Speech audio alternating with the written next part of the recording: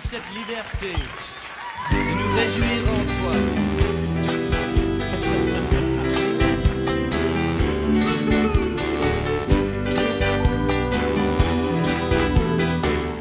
Bonjour à tous. C'est professeur Caleb Tambe Pacifique, professeur aux écoles chrétiennes La Source de Vie. Nous sommes aujourd'hui dans notre cours de géographie. Comme autrefois, nous avons expliqué l'importance, l'objet de la géographie.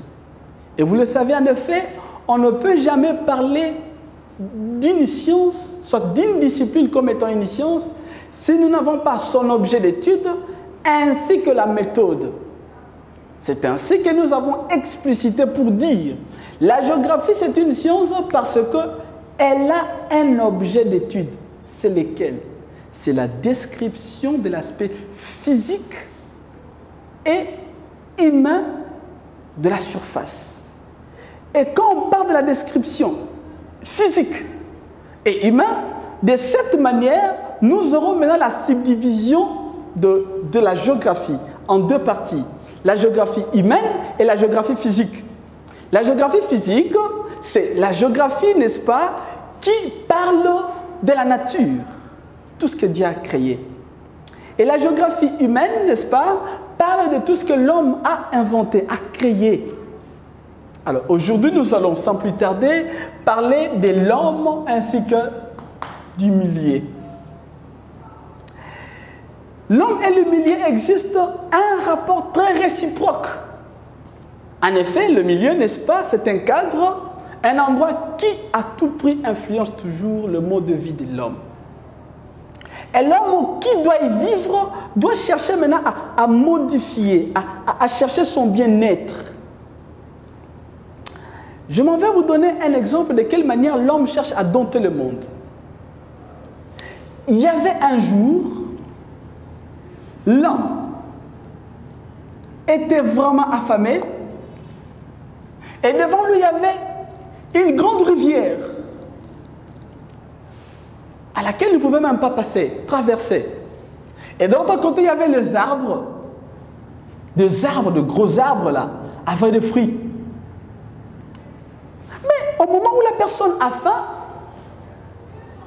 il cherche maintenant comment il pourrait traverser. Et subitement, il remarque un oiseau qui traverse, qui passe, et qui commence, n'est-ce pas, à, à, à, manger les fruits des arbres.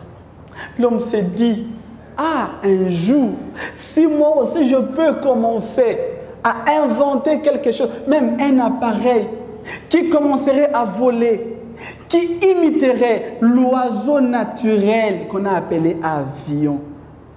Vous voyez? Maintenant, cet ensemble de connaissances qui permet, n'est-ce pas, à l'homme de dompter le monde, c'est ce qu'on a appelé la science. Et lorsque l'homme commence à inventer l'avion, cette science devient la technique. Et dans la technique, nous avons la technologie et nous en passons, l'informatique, tout consort. C'est que l'homme parvient à dompter le monde par la science ainsi que la technique. Et c'est de cette manière que l'homme cherche toujours à influencer le milieu. Le milieu influence l'homme et l'homme influence le milieu par sa technique. Très bien. Sans plus tarder, je m'en vais vous donner un petit, euh, un petit exercice que vous pouvez vous-même faire. Comment l'homme influence et domine le milieu? Citez quelques éléments de la technique. C'est de cette manière-là, nous concluons, n'est-ce pas, notre sujet, un sujet, mais c'est grand. Nous sommes pendant cette période. La maladie qui gangrène le monde, vous en connaissez, Corona. Portez toujours le masque, respectons le geste. Ça, c'est un conseil, n'est-ce pas, à la taille de votre ceinture et à la taille de votre âge. Écoutez, respectons le geste. Que le Seigneur vous bénisse. Au revoir.